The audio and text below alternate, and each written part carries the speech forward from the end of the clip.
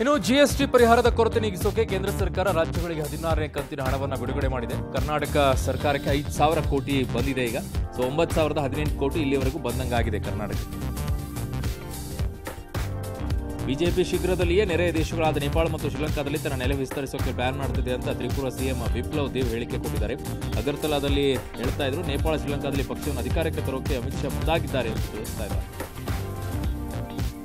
ದುಡ್ಡಿಗಿಂತ ವ್ಯಕ್ತಿಗತ ಖಾಸಗಿತನಕ್ಕೆ ಜನತೆ ಹೆಚ್ಚು ಪ್ರಾಮುಖ್ಯತೆಯನ್ನು ಕೊಡ್ತಾರೆ. ಹೀಗಾಗಿ ಖಾಸಗಿ ವಿಚಾರಗಳ ಗೌಪ್ಯತೆಯನ್ನು ಕಾಪಾಡುವ ಜವಾಬ್ದಾರಿ ನಮ್ಮಲ್ಲಿದೆ ಅಂತ ಸುಪ್ರೀಂ ಕೋರ್ಟ್ ಹೇಳಿದೆ.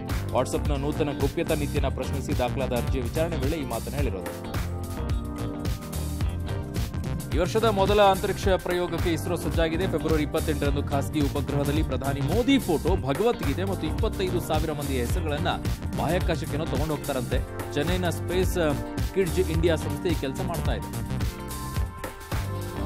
ಕೃಷಿ ಕಾಯ್ದೆ ಖಂಡಿಸಿ ಕೊಪ್ಪಳದ ಶ್ರೀರಾಮನಗರದಿಂದ ಬೃಹತ್ ಟ್ರ್ಯಾಕ್ಟರ್ ರ್ಯಾಲಿ ನಡೀತು ಇವತ್ತು. ಮಾಜಿ ಸಚಿವ ಶಿವರಾಜ್ ತಂಗಡಿ ನೇತೃತ್ವದಲ್ಲಿ ಟ್ರ್ಯಾಕ್ಟರ್ ರ್ಯಾಲಿ ನಡೀತು. ಮುನ್ನೂರಕ್ಕೂ ಹೆಚ್ಚು ಟ್ರ್ಯಾಕ್ಟರ್ಗಳು ಅದರಲ್ಲಿ ಪಾಲ್ಗೊಂಡಿತ್ತು. ಅನ್ನದಾತರಿಗೆ ಬೇಡವಾದ ಕೃಷಿ ಕಾಯ್ದೆಯನ್ನು ರದ್ದುಗೊಳಿಸಬಾರದು ಯಾಕೆ ಅಂತ ಕೇಂದ್ರ ಸರ್ಕಾರಕ್ಕೆ ಪ್ರಿಯಾಂಕಾ ಗಾಂಧಿ ಪ್ರಶ್ನೆ ಮಾಡಿದ್ದಾರೆ. ಉತ್ತರ ಪ್ರದೇಶದ ಬಿಜ್ನೋರ್ನಲ್ಲಿ ಮಾತನಾಡಿದ ಪ್ರಿಯಾಂಕಾ, ರೈತರಿಗೆ ಅದರ ಅಗತ್ಯ ಇಲ್ಲ ಅಂದಮೇಲೆ ನೀವ್ಯಾಕ್ರಿ? ಈ ಕಾಯ್ದೆ ರದ್ದು ಮಾಡಬಾರ್ದಾ ಅಂತ ತಿಳಿಸಿದ್ದಾರೆ. ಸ್ಯಾಂಡಲ್ವುಡ್ನ ಕಿರಾತಕ ಚಿತ್ರದಲ್ಲಿ ನಟಿಸಿದ್ದ ನಟಿ ಓವಿಯಾ ವಿರುದ್ಧ ಬಿಜೆಪಿಯವರೆಲ್ಲ ಗರಂ ಆಗ್ಬಿಟ್ಟಿದ್ದಾರೆ. ಮೊನ್ನೆ ತಮಿಳುನಾಡಿಗೇನೋ ಭೇಟಿ ಕೊಡೋ ಮುಂಚೆ ಒಂದು ಟ್ವೀಟ್ ಮಾಡಿದ್ರಂತೆ ಗೋ ಬ್ಯಾಕ್ ಮೋದಿ ಅಂತೇಳಿ. ಇದರಿಂದ ಸಿಟ್ಟಾಗ್ಬಿಟ್ಟಿದ್ದಾರಂತೆ ಪೊಲೀಸ್ ಕೇಸ್ ಹಾಕಿದ್ದಾರೆ ಯಾಕೆ? ಟೀಮ್ ಇಂಡಿಯಾದ ಮಾಜಿ ಕ್ರಿಕೆಟಿಗೆ ಯುವರಾಜ್ ಸಿಂಗ್ ವಿರುದ್ಧ ಹರಿಯಾಣದಲ್ಲಿ ಅಟ್ರಾಸಿಟಿ ಕೇಸ್ ಅನ್ನು ದಾಖಲಾಗಿದೆ. ಲೈ ಚಾಟ್ನಲ್ಲೇನೋ ಜಾತಿ ನಿಂದನೆ ಮಾಡಿದ್ರಂತೆ. ನಿನ್ನೆ ವೇದಿಕೆಯಲ್ಲಿ ಮಾತನಾಡುವಾಗಲೇ ಕುಸಿದು ಬಿದ್ದಿದ್ರು ಗುಜರಾತ್ನ ಮುಖ್ಯಮಂತ್ರಿ ವಿಜಯ್ ರೂಪಾನಿ. ಅವರಿಗೇನೋ ಕೊರೋನಾ ಸೋಂಕು ದೃಢ ಆಗಿದೆ ಅಂತೆ.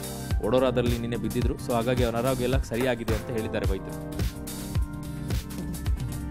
ಚಾಲೆಂಜಿಂಗ್ ಸ್ಟಾರ್ ನಟ ದರ್ಶನ್ ಅವರನ್ನು ಕೃಷಿ ಇಲಾಖೆ ರಾಯಭಾರಿಯಾಗಿ ಸರ್ಕಾರ ನೇಮಿಕೆ, ನೇಮಿಸಿ ಆದೇಶವನ್ನು ಹೊರಡಿಸಿದೆ. ಕೃಷಿ ಇಲಾಖೆ ರಾಯಭಾರಿಯಾಗಿ ಯಾವುದೇ ಸಂಭಾವನೆ ಇಲ್ಲದೆ ದುಡಿತಾ ಇದ್ದಾರೆ ದರ್ಶನ್ ಅಂತ ಹೇಳಿದ್ದಾರೆ. ಕೃಷಿ ಇಲಾಖೆಯಿಂದ ಅಧಿಕೃತ ಆದೇಶ ಕೂಡ ಪ್ರಕಟ ಆಗಿದೆ